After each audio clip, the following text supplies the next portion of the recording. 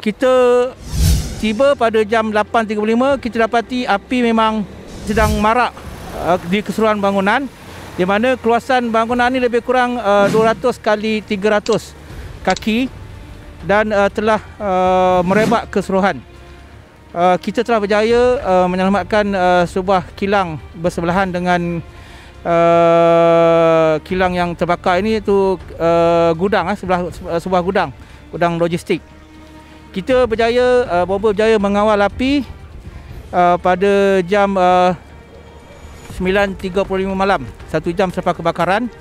Uh, kita telah berjaya uh, daripada mengawal api, uh, mengawal api daripada merebak ke gudang uh, yang ada bersebelahan.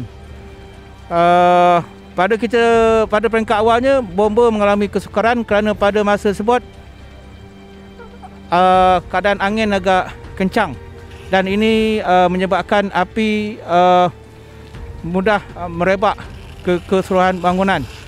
Dan juga dengan keadaan uh, uh, bahan yang sedia ada yang banyak. Uh, jadi itu memudahkan api merebak